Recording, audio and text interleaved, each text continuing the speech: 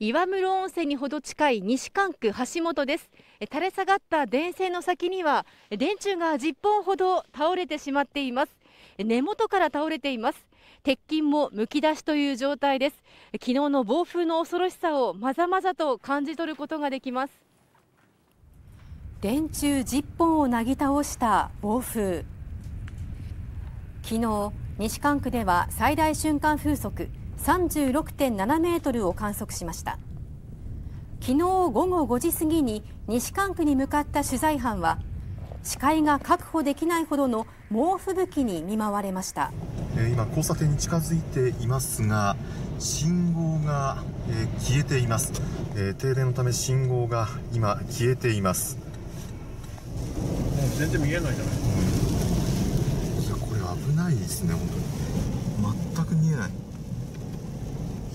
今前の車のブレーキランプを頼りに走っているんですがほとんど道が今どこにあるのかが分かりません。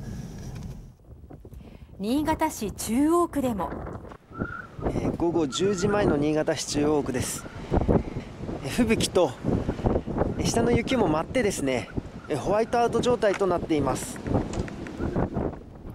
一方佐渡市相川では観光客に人気の佐渡版画村美術館や佐渡奉行所跡の木造の塀が倒れる被害が。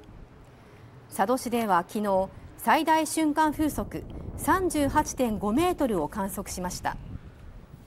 この暴風の影響で県内では昨日新潟市でおよそ2万6000戸長岡市と燕市でおよそ5000戸など最大4万9000戸が停電。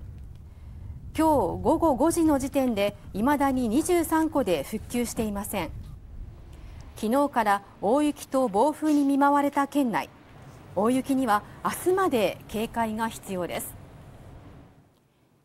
県によりますと昨日からの暴風雪の影響で県内では強風で転倒したことにより重傷4人を含む19人が怪我をしています。また住宅の被害は半壊一部損壊を合わせて11棟に上っています。